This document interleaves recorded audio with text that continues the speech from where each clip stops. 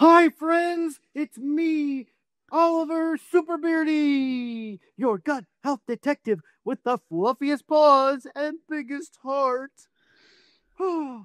Today, I need help solving a puzzling case. Oh, well, uh, it's not about me this time. It it's about one of my best buddies, Sam. He's been acting kind of strange at meal times. He, he, he takes forever to eat, drinks a lot of water with every bite, and told me he doesn't like hamburgers anymore. Oh, that's not like Sam. He loved burgers. So I did what any good friend and super sleuth would do. I made a list of clues and I called in an expert. Oliver, did you break into my email again? I wouldn't do that.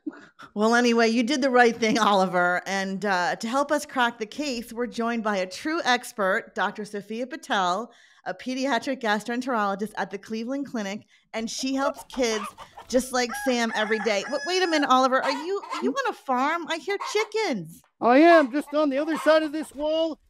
Are chickens, and I have to round them up. So I gotta hurry up. Okay, Oliver, thank you. I'm glad you you you have your job as a herder, I but do. today we're going to focus. We have I'm Dr. Patel here. We have Dr. Patel, and we're so happy to have Oh, her yeah. here. Hi, Jacqueline. Hi, Oliver. Hi. Hi. It's nice to meet you. Hey, chicken, do you need a gastroenterologist? I think some of those chickens do. Thanks for having me. And I'm so glad you reached out. What you're talking about with Sam is something that we want to pay attention to. Okay, Dr. Patel, here's what I've noticed about Sam. You tell me what you think. Clue number one Sam eats so slowly. His spaghetti gets cold before he finishes a meal. Oh, taking a long time to eat can mean swallowing is uncomfortable or even painful. Yeah. Oh, no, clue number two. Um, he takes a drink after every single bite.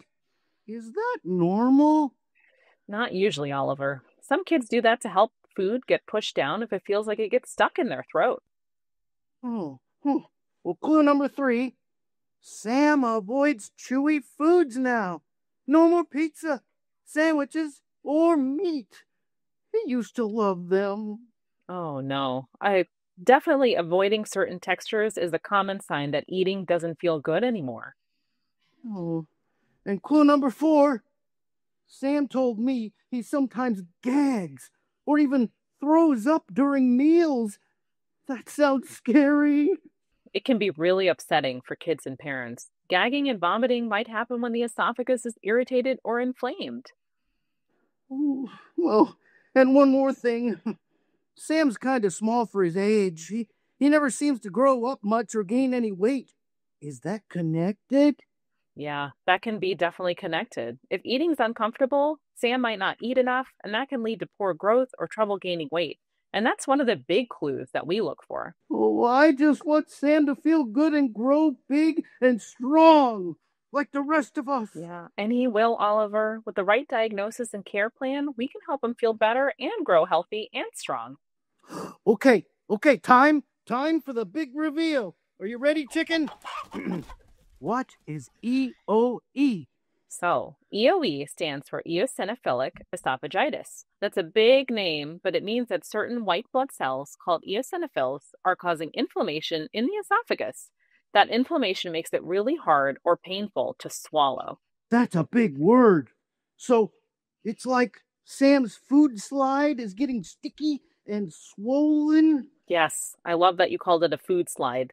And the food mm. doesn't slide down easily in kids who have EOE. And that's why Sam might feel like things are getting stuck. Oh, wait. Oh, could Sam be allergic to something he's eating? And that's a great question, Oliver. Some kids with EOE have food allergies or sensitivities that might play a role in their symptoms. And that's part of the reason why we sometimes will do allergy testing as part of the EOE care plan to figure out what might be causing the inflammation. Oh, wow. So this isn't about being a picky eater or acting out.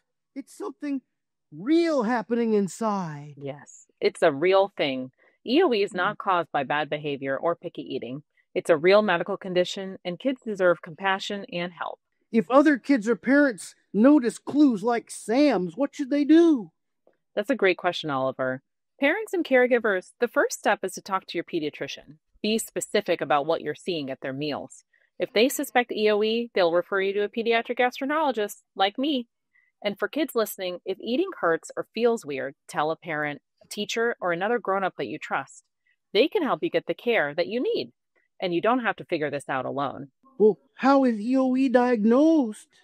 Well, EOE is diagnosed with a procedure called an endoscopy. The child is asleep while we look inside the esophagus with a small camera and we take tiny samples to check for those eosinophils or the allergy cells. What about treatment? Treatment can include a lot of different things, but mostly medicine, diet changes, or both. Every kid is different, so we work closely with families to figure out what works best for them, just like we'll do for Sam. And it's also important to know that EOE is a chronic disease, which means that it doesn't go away completely. But with the right care, we can manage it well and help kids feel great. Oh, Dr. Patel, can you share your superhero checklist for parents who might have a Sam at home? Of course. Here's what I recommend. Number one, notice how your child eats. Do they eat slowly? Do they take a long time? Not just what they eat. Number two, keep a food diary and note any gagging, food refusal, or complaints. Number three, don't be afraid to ask questions or bring up concerns with your pediatrician. And number four, if needed, ask for a referral to a GI specialist like me.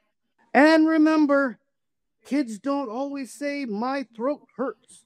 Sometimes behavior is a body's way of asking for help. That's right, Oliver.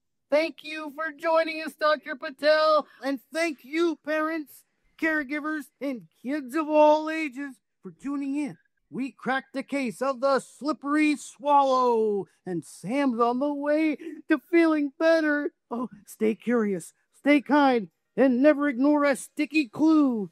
Oliver, I'm so glad we cracked that case together like an egg. nice pun. I'm going to tell the chicken. Come here, chicken.